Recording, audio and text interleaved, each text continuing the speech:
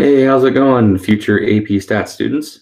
Um, so it's kind of different this year. Instead of having our AP Summit uh, at Carter, uh, we all decided to put together some videos. Um, and my name is Mr. Thomas. I teach AP Statistics along with a few other courses.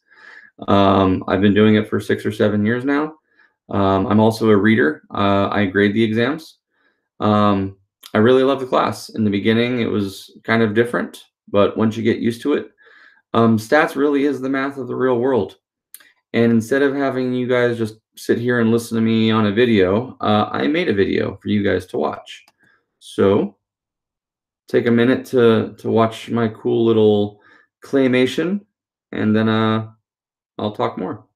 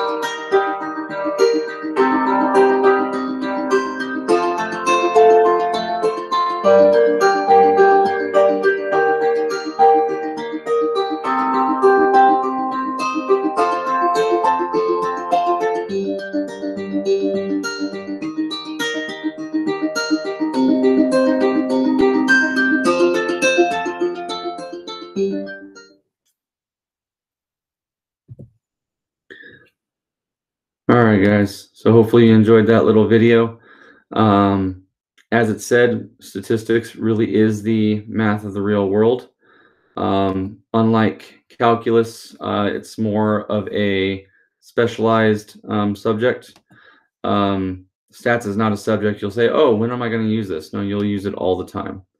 So yeah, it's just a different course. So uh, usually after math three or math four, you jump into the next math course, but really statistics can be taken at any point after math three.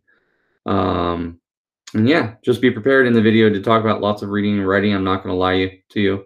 Um, there is lots of reading and writing.